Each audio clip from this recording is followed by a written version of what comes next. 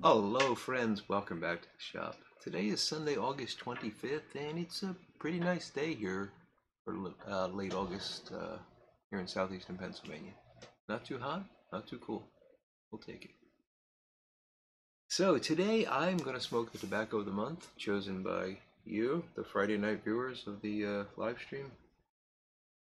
Uh, and I struggled with this one this week uh, because or this month, I should say, because uh, I got some misinformation on this blend from you, the viewers of the Friday Night live stream. Uh, so this is Newminster number 403 Superior Round Slices. This was uh, purchased in March of 2022, or at least it was put in this jar in March of 2022. Anyway, not very old. Um, I'm I'm I'm curious about that date because I don't remember buying this, so I don't know how I got it in March of 2022. Anyway, um, I was told, I believe, and I haven't gone back and watched the live stream, but I think several folks agreed that this was a burley Oriental blend, um, and I struggled with it. I, I could not find. It seemed it, it seemed to me like it was very very heavy Oriental with very little burley and and it really needed something else. I even thought maybe it needed Virginia because uh, it just was lacking something. And and then I really it doesn't have that sourness that I would get from a blend that was that heavy in the Oriental. So I just couldn't find anything in this, and I didn't look anything up or you know do any research on it because I like to try to sort it out for myself.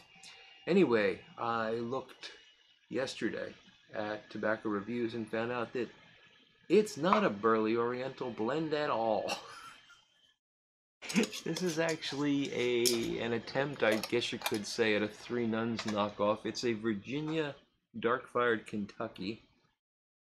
Um, you can see it's these nice coins, very similar to Three Nuns. Um, also similar to Luxury Bullseye Flake in some regards, and that's what kind of got us off on this uh, whole stream of it being a an attempt to replicate luxury bullseye flake on the live stream. Uh, but I, I really think it's more of an attempt to replicate Three Nuns, or maybe it's just an independent tobacco that's got nothing to do with trying to replicate anything. But uh, there you have it. So some of the reviews reviews said it was like Three Nuns with Dark Fired Kentucky instead of Perique, which of course is what Three Nuns is now. Um, some of them have a core, some of them don't. It's kind of interesting. Like that guy doesn't really have much of a core. And then you get ones where it's just very, very prominent. Like maybe it's not that obvious to you. That looks very prominent to me. Anyway, I've smoked quite a bit of this trying to sort it out. I think I finally understand it now. so we're gonna pack a bowl. I've got I've got a couple bowls left. Uh, and I can tell you without uh, too much uh, giveaway or spoilers here that I'm probably not going to be buying more of this. Not a bad blend, just not my thing. And I'm just doing a direct uh, fold and press here. I'll show you how I'm packing this in case anybody cares. I'm taking two of these coins, like so, folding them in half, and then as they go down in, I'm sort of using some force to kind of break them. Uh, seems to work fairly well. And by the time I'm done with that, because of the way I'm moving my finger around, I mean, you saw I just pushed those flakes in. But what I've got is, basically, it looks almost like it's a, it's going to be hard for you to see that without, but there we go. It looks almost like it's a ribbon cut pack. And plenty of uh, airflow at the bottom because those lower flakes, while they broke up, they didn't compress as much. So you get something that's easy to light and then something that'll burn nice and slow through the bowl.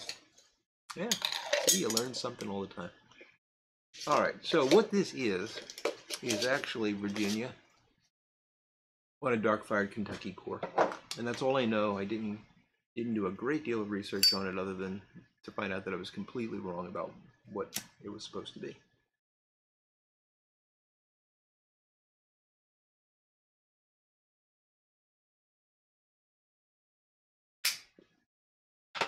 With that in mind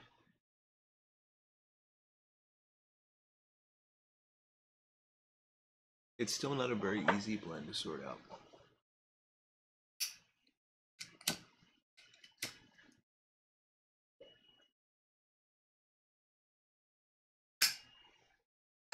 It's very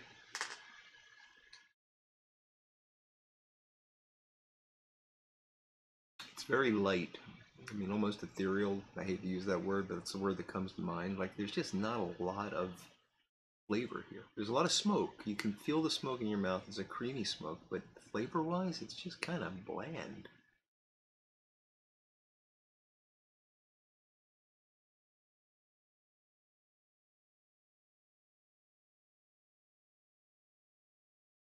There is a slightly flowery something going on in there. Um,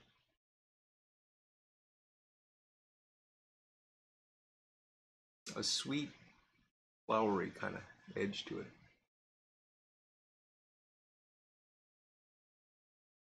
Some of the reviews I looked at this morning noted um, that it is likely made at Mac Baren, and I believe it is made at Mac Baren.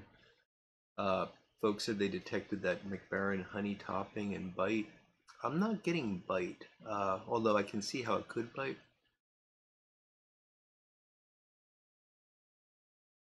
I tend to really despise the Mac Baren stuff, so with a couple of exceptions, Three Nuns being a notable one, because they do make Three Nuns. Um, this does definitely have a sweetness to it that I could imagine being called honey, but I've been thinking of that more of a sweetness combined with that flowery component. And again, I was looking for Orientals. So since I now know there are no Orientals here, yeah, maybe it's a topping.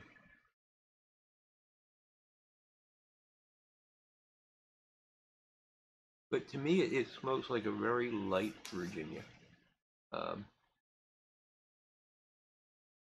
not bright, but keep in mind it's a couple years old. Surprised it's only two years old. I don't remember buying it. I really. I had a cigar last night that I have no memory of ever buying. It was in my humidor. Um, I have no idea how it got there. And you know, folks give me cigars, and that's very kind of them. But I tend to keep them separate, and so I know what I bought versus what has been uh, given to me. And but this was not. This was in the purchased section of the humidor. It's terrible that I have a purchased section in my humidor. Um, and it was uh, uh, it was a Maduro, which I, I don't typically enjoy Maduros, but it was a Oscar, you know, Leaf and Bean by Oscar uh, Maduro, fantastic cigar. So there, in the middle of a tobacco review, you get a cigar um, impression. Uh, in the middle of a tobacco impression, you get a cigar recommend cigar recommendation. Should have quit while you were ahead there, Michael. All right. So yeah, I don't remember where the cigar came from, and I don't remember where this tobacco came from. Terrible. But with only 2022 date, I I don't know. It just seems like that must I wonder if maybe I had jarred it up at one point and then opened it in 2022. But I don't remember smoking it either. Anyway. Enough of me being old and unable to remember things. Uh, very light Virginia. Not bright, uh, but not a deep red Virginia sweetness either. And in terms of the dark fire,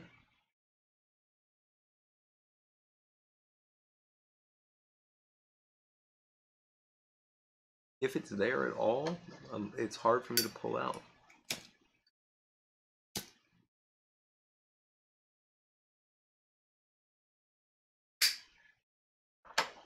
Really nothing on the retrohale.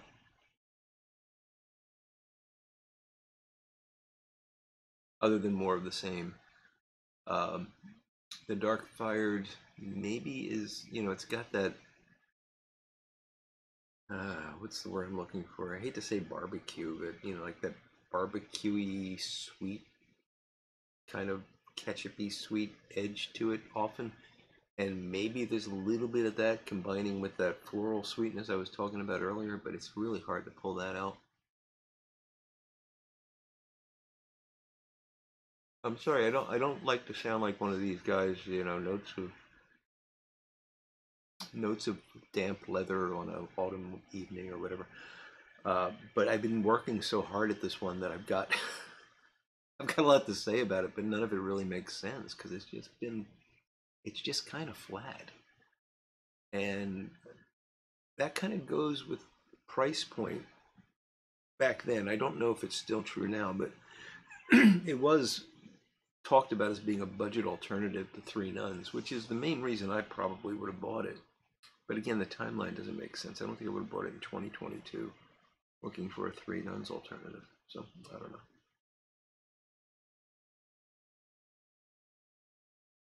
But this is not Three Nuns. it's also not, if you watch the Friday night live stream, it's not Stokkebye uh, Luxury Bullseye Flake either. It's just kind of a very raw Virginia flake.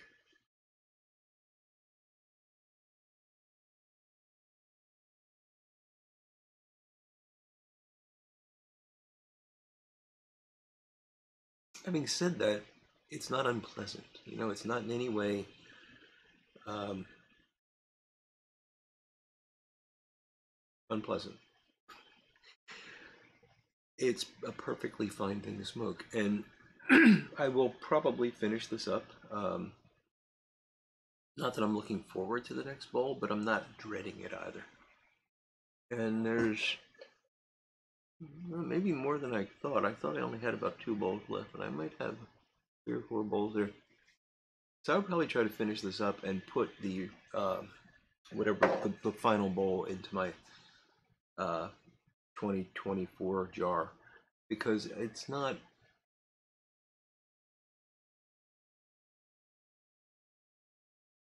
I guess what I'm trying to say is that on some level I like it because I only put things I like into that jar. Um, I'm glad I've got the opportunity to smoke it. I will not dread smoking another bowl.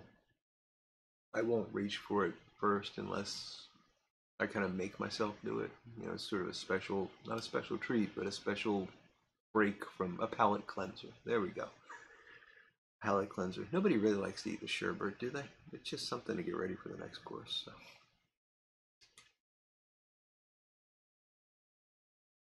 All right, so that's uh, Newminster number 403. Hope, hope that was useful to you.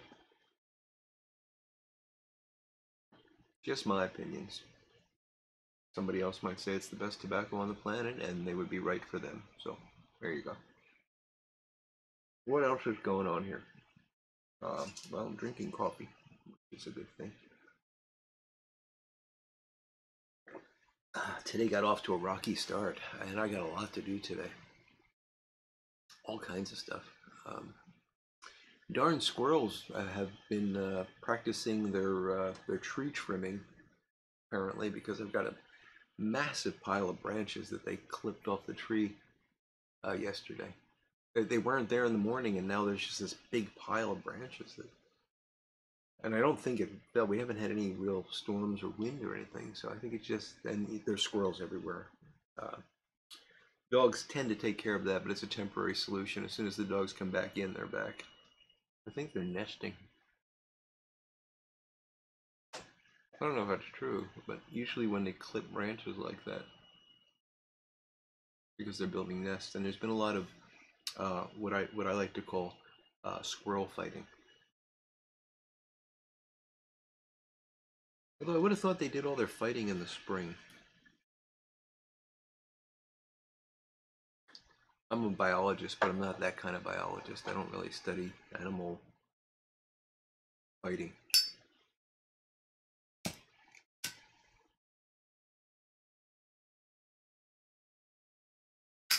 It's bad enough you have to be logged in and and uh,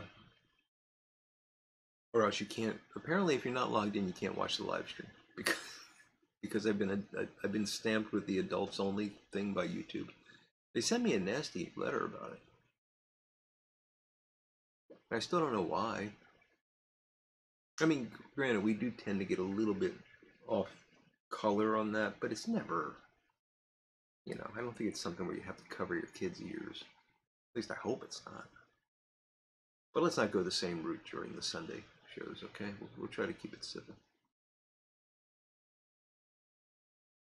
Uh, thus, animal fighting, in case you were wondering where that tangent came from. My goodness. All right, in other news, uh, I got a wonderful gift from my buddy Michael Case. Look at this, guys. This is a beautiful, you might be able to read that there. Miller Falls number four. It is a bullnose rabbet plane. So you, you might notice the blade is flush with the edge of the plane right here. What that means is you can take this along a rabbet, which um, you imagine the edge of a board and you got a notch in it so that it maybe uh, fits in with another board or something like that. It's a little notch in the edge of a board. Uh, for you woodworkers, it's a dado that's missing a side. Like it's a dado on the edge of a board. So it's a one-sided dado. Uh, this will ride up against the inside of that and let you plane the, the bottom of it smooth. And it's a very useful tool that I don't have actually. And I love Miller Falls. And this, interestingly, is a Miller Falls 4, but it's got a G appended to it, which, from what I've been able to ascertain, means that it was made, it's a government uh, plane. So this was actually made for the US government under contract by Miller Falls. Uh, but everything Miller Falls did was incredible workmanship. So thank you, Michael. This will get used and it will be cherished. Uh, really beautiful. And other news. So garden is pretty much kerpl- kerplunked. Uh, Michael actually asked me during the live stream if I could do an update on the garden, and I, I went out yesterday, and it just is a bunch of dying plants. You know, it's that's just that time of year, unfortunately. But it was semi-successful. We got a fair number of cucumbers, a lot of peppers. No, well, my wife will very proud, proudly tell you she grew a tomato. It died on the vine, but she grew a tomato. Uh, arugula did okay. Uh, ground cherries really did horrible. The something was eating the leaves and uh, just completely destroyed those.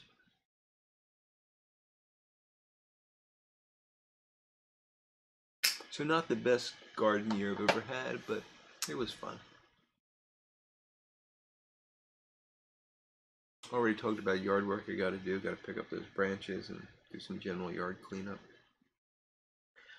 Got a couple of appliance repair things I've got to do. I've got to take apart our vacuum cleaner because don't tell my wife, but I might have sucked up a USB cable into the vacuum needs to be extracted. Um, it's the kind of thing that she'll always tell me, "You better be careful. You're gonna do that," and I'll say, "Ah, you're crazy," and then I'll see it getting sucked up like a piece of spaghetti going in there. Yeah, just gotta fix that. And it is fixable. It's just wrapped around the um, the roller, and I've taken that roller off. well, maybe not a million times, but I've taken it off quite a few times. Oh yeah, I got to do that. And I, believe it or not, I got to work. I got to get some work done for work tomorrow. Something that I put off all last week because I would do it the next day and I would do it the next. And then I got to Friday and I was like, oh, I'll have time over the weekend. And here it is, Sunday afternoon almost. But right now, I think I'm to go make myself some breakfast. And uh, plan. Always good to plan. So, guys, thank you for joining me. Uh, I hope you enjoyed the discussion about Newminster 403. Sorry I can't recommend it uh, other than to tell you what it's like, but you know, that'll happen sometimes. I'm sure there are people out there that love it because they're still selling it.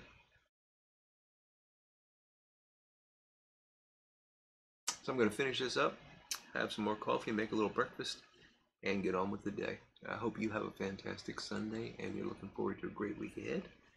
And until we speak again, I will look forward to talking to you all again very soon. Goodbye now.